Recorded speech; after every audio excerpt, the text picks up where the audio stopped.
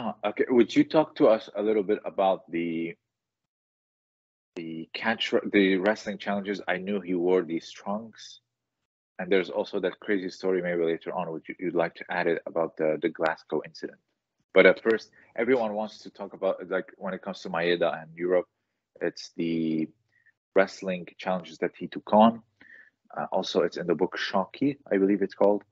So if if you can talk to us from Maeda's perspective on the wrestling challenges, that would be really great. Because everything is just uh, another source, someone else talking. Mm. So uh, Maeda learned uh, from uh, being in America that there were uh, different ways of wrestling, and uh, a lot of times um, they didn't. They first of all they counted a win as if you got their sh- your shoulders pinned on the ground. So he learned very early that he had to adapt his uh, what he was going to, how he was approaching a, a, duel, and really make sure that the rules were set. You know, how are we actually going to do this duel? So he uh, carried that knowledge over with him to the UK, and he was prepared in advance for, you know, some negotiation to take place between how they were going to do these matches.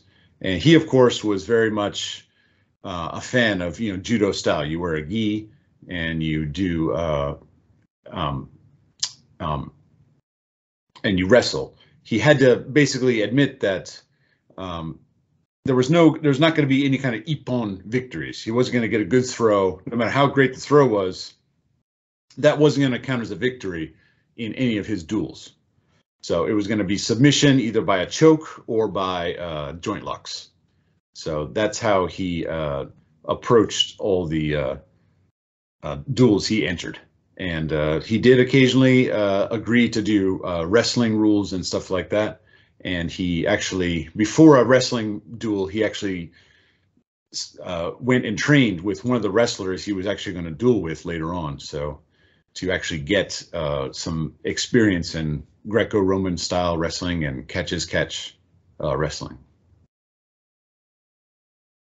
what? Um, how many challenges has he had? Like you can read, the, you can find it all over the place uh, regarding his uh, record. Uh, you can see he lost. He both lost and won, which is very normal. But uh, is uh, how do I say like any particular incident where it's far more detailed, like which throws he used, uh, how did he approach the fight? You said he wanted to win by you know joint locks or uh, strangle, so very much like what you see today in you know no gi grappling, but he was doing it early 1900s. So uh, is there any detailed fight that was, you know, like the Maruyama book, he says, oh, he threw him with Haraigoshi, he pinned him with Kamishiho Gatame. Is there any detailed fight of any of these incidents? Actually, there's a, a lot of fights and they have a lot of details. Um, mm-hmm. uh, I'm not gonna be able to recreate it now from memory, but he does. Uh, um, Maeda was definitely a uh, try to get the measure of a, one of the, his opponent by going in with a tomoe nage or some kind of throw like that. And after sort of surprising his opponent with that really quick, you know, tomoe nage, he would then, uh, you know, charge in and try other sort of uh, throws to get the person on the ground. But he, uh, and then as he was throwing the person, look for an opportunity to to continue that technique into a uh, some kind of joint lock or uh, stranglehold. Usually, he seems to have been going for arm bars um, for the most part. Um, part of the reason for that was in the UK, a lot of uh, uh, strangleholds or chokes were kind of frowned upon. I think the the catch wrestlers kind of had a somewhat right. They had a rule kind of where, where we don't do the chokes, and I think they had some other some other locks that uh, they weren't going to use. Um, I can't think of what they were, but right now, but uh, maybe it was the full Nelson they wouldn't use as well. So they had a couple things they weren't going to do. So Maeda kind of had uh, his approach was to charge in with some big throws and then try to transition those throws into a joint lock and then get the guy to submit with that. Um, whereas in judo, the throw itself, the fact that he executed a perfect, you know, tomoe nage or harai goshi, or uh, he also liked uh, uh, tsurikomi, tsurikomi nage, uh, or tsurikomi otoshi. Tsurikomi goshi. Yeah, yeah, he really liked that to uh, attack with that. I think that really uh, confused his opponents. He also mentions that he would go in with a different grab than normal. Uh, the kumi, he would go in with a uh, a left kumi instead of a right kumi, which apparently was uh, a lot of the wrestlers in the UK were not used to that. Hmm. So he was left-handed.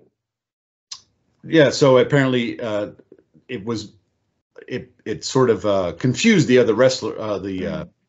the wrestlers in the UK because a lot of them did have experience uh, wrestling, you know, Japanese style judo uh, wrestlers, so they Mm. You know they weren't completely freaked out or anything like that by like uh, the techniques that were being thrown at them. However, since Maeda was coming from the opposite direction, um, he got some. He definitely got uh, racked up some victories there in the early stages of his time in the UK. Those uh, challenges or fights were they in the jacket? As far as I know, they were wearing a dogi. Sometimes when, uh, even if he agreed to a duel where the opponent didn't have to wear one, he would still wear one. So that was kind of an interesting uh, element. Yeah. He uh, he in, like in America, he did do a few uh, uh, what do you call it duels where it was one round in Western style wrestling with you know no gi, one round in judo style wrestling with a gi, and whoever won, you know, uh, or sorry, whoever defeated the other person in the fastest amount of time got to choose the manner of the third bout. So like, so uh, you know, I wrestle you Greco-Roman style and pin you in ten minutes. You wrestle me judo style, pin me in eight minutes. So we each it's one and one. You get to pick the the style of wrestling for the third round, and you're gonna clearly pick judo, and so that's gonna put you at advantage for uh, two of the three matches. Oh, that's pretty cool. There's just so much, so many ways you can go about about rules, and Mm. also let's not forget that uh, Maeda wanted to be a rikishi or sumo wrestler. Yeah, yeah, So being naked and wrestling for him is not uh, strange or something that's out of his element because he did that a little bit before, I believe. He went into the Kodokan and uh, later went on with Tomita. right, right. So it's Tomoe Nage and Gatame. It's a very classic yet uh, very functional combo. I believe Tsunoda now her, her name is. She won a few titles, world titles, like like back to back, just Mhm. using that very basic combo, and it still works. Mm. I think just charging in straight in a person and like you know dropping down, you know, kind of Yeah. out of sight, and then all of a sudden the person's getting thrown, you know, head over Yeah. heels. Really like you know, could be disorienting for uh, you know a lot of those wrestlers. Yeah, and also back then, and now you see it a lot, a lot less. But Tsunoda does the very classical one. It's Tomoe Nage back at, at the at his time, and if you see in the Nage no Kata, and you see uh, even today's Kodokan demonstration, they shoot with the leg that's on the side of the one that holds the lapel. Now it's on the side of the sleeve because many go for Yoko Tomoenage, and Yoko Tomoenage you need to have like that steering wheel effect. So you Mm. obviously use the the sleeve because it's a it's um what do you call uh, like the momentum this- the Right, way right. you rotate it it's far bigger and so when the leg that goes on for Tomoenage it's usually on the sleeve side so when Mm. you're rotating and you're going to the side you can spin out of it you can cartwheel there's a lot but the classical one even now when like the veterans hit me with it I, and you're just like hosted up in the air all of a sudden your feet have lost contact it's uh, very hard to to resist or try to do something at the last second Mm. but uh, it, it was a lot of a surprise attack back then um, if you see it in the Nage no kata he pushes him and as he's kneeling forward he grabs the double lapel Mm. then goes underneath and shoots up it's hard to counter such a thing so Yeah. uh, i would not be surprised if that was his uh, bread and butter so to speak Mm. That being said, the matches uh, when he uh, describes the matches, you know, he describes kind of some of the opening moves and then some kind of the moves at towards the end. But uh, a lot of them last about you know ten minutes or twelve minutes or something along that, those lines. So there were long matches, definitely. So there was a lot that happened in between before he did finally get the uh, the victory in whatever uh, bout he was in. So, uh, other than Tsurikomi Goshi and Tomoenage, is there any, do you have any recollection of other throws? Because what I'm trying to do, and I'm sure others are doing, is uh, you try to see what his favorite throw because every judoka has those three to four throws, um, sometimes even just two, and you try to see like oh, it's kind of like a like a game where like oh these are his attacks. So Hmm. if you can recollect maybe a third throw, that would be. really Oh, he definitely does a uh, Hiza guruma Mm. and uh, uh, koshi, uh, koshi otoshi, koshi otoshi, koshi harai, huh? Haraigoshi. Harai goshi, yeah. They sometimes use slightly different names for the uh, throws. Mm, So Sure. uh, there's like an older older name for it, but I think it, yeah, harai goshi. I think that's what it is. Harai goshi, and then Hiza guruma. He's a guru matomanagi. Uh, Tsurikomigoshi. It's a weird mix of throws. Like even like today you see a lot of Seoinage, Uchimata, and Osoto and Ouchigari. Hmm. And if you can catch a, a Deashi Harai or a Kouchigari, you know, you're, you're you're a king because these are throws that so minimal yet you know you need the right timing to catch them. But it's usually the big throws like uh, uh, Seoinage, a lot of variations of it. Uchimata, same thing. Um, and Ouchigari, you know, hooks and also Togari from outside. But uh, back then, I noticed they have like a, a far more classical arsenal. You see a lot of Hanegoshi, you Hmm. see a lot of Tomoenage. Tomoenage is still big even today, but it's Hmm. they approach it very differently with the way the gripping is being done today. Hmm. Um, but yeah, like Kano, for example, Ukigoshi, uh, Ukiwaza, and Tomoenage and Kataguruma. It, it's a weird mix. Yeah, tsuri, Now- tsuri, uh, tsuri komi goshi too. You know, like hoisting the guy up and then uh, throwing him down. That was a popular one. I was wondering if maybe he was he wanted like a the bigger style throws. Like I guess Hiza Guruma's not really that big, but uh, you know, to extend the guy's arm out, you know, so that he could then get a an arm bar because he's trying to transition to either a choke. But like, oh, he also did Taiotoshi as well. Taiotoshi was big as too Okay. to drop down on top of the guy and then kind of do ground ground fighting from there. If it was okay to, um, Yeah. you know, not get your shoulders on the ground. So there's stuff like that happening as well. Taiotoshi puts you puts them aligned like right in front of you like this, and if he's holding the the sleeve or the arm, it, it's just easy to go for Jujigatame. Yeah, Juji Gat- Gatana and then uh, was it Juji uh, Gatame? Is that what it is? Juji Gatame? Yeah. Uh, Udeshigi. Yeah, it's, things like that is what he was doing from uh, Taiotoshi. The the the first one, the Tatsushin Ryu book that you the first thing that you sent to me was uh Hmm. where the you, the randori section you can see Mata Harai was also Togari. Uh, Udeshigi was uh, Jujitame, I believe. Right. I, I, I forgot. Maybe I, I might be mistaken, but there's also Dojime. But yeah, the, the naming was definitely different. Even if you go to Mifune's uh, videos, it has a few, like outside of the Gokyo, but you know, with different names. For example, Sukuinage Teguruma. It's from him that we call it Hmm. Teguruma, I believe now. Right. Uh, under Kodokan naming, it's uh, Sukuinage, you know, scooping up. Uh, w- When he went to Scotland, he told me there's a funny story. Before he left, they they, they presented him with uh, with a little gift.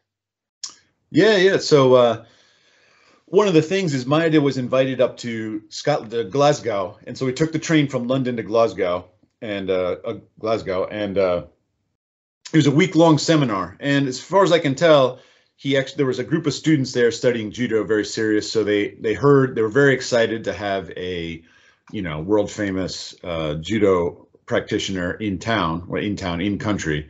So they invited him up for a uh, seminar for a week. So I presume they paid for his transportation and hotel and stuff like that. And while he was up in Glasgow, uh, he would also had some duels with some local, uh, uh, what do you call it? Local champions, or not even necessarily judo people, but other uh, people that wrestled or just tough guys. So uh, in the middle of this week, uh, he he gets a knock at his hotel room door, opens up, and it's like the busboy or the bellhop with a case of uh, Scotch whiskey, and uh, one of his students is uh, it, it, taking the seminar is the son of a distillery owner, and just gives him a whole case of this top quality, uh, you know, whiskey. And Maeda's like, look, I can't take this. And talks to the guy finally. I can't take this. I can't accept this gift because it's going to tempt me too much to drink. And the guy's like, ah, don't worry about it. You'll be fine. The last Japanese guy that was here teaching us uh, drank the whole case in a week. And we even sent him six bottles as a uh, departing gift for him to drink on the train ride home, which I think was only like a day and a half. So, Oh, so the guy was a big drinker. So Maeda then asked asked like, hey, who who is this Japanese guy that was like drinking all this alcohol? And uh, they're like, and the guy replies, uh, I can't remember his name, which is like, it's like okay. He's like, well, can you tell me more about him? He's like, yeah, he drank all that whiskey. Uh, we trained hard, and uh, he was out with some of the uh, guys. And in addition to drinking at the bar, uh, this is presumably in addition to the whiskey that he had up sent up to his hotel room. He also pulled out a bottle of ether and had everybody like breathe in the vapors of that to, you know, really get the Yeah. party going. And based on that description, Maeda was able to determine that that was uh, Ono Sandan, you know, the uh, the guy that uh, uh, the uh, third degree black belt from the Kodokan. His name's so Ono. Akitaro Ono. Yeah, that's him. That's him. That's him. He was a big guy. If you see his pictures, Yeah. So like he he- had no neck. Exactly, exactly. And I think he was with he's with uh uh Maeda all the way down through Cuba and stuff like that. I think I saw a Yeah, picture of it- him. Satake, Maeda, uh, uh, Tomita, and uh, Ono. Right, right. There's So they're all-. You know, they they came over to America. They were kind of like they were in America, they were together a little and apart a little. And then Ono went to the UK ahead of uh of Maeda. And uh apparently they end up in Cuba together. So Ono's this, you know, humongous, hard drinking, uh, you know, hard training uh, judoka that is uh, apparently going to be in and out of this story for uh, the next uh, five or ten years.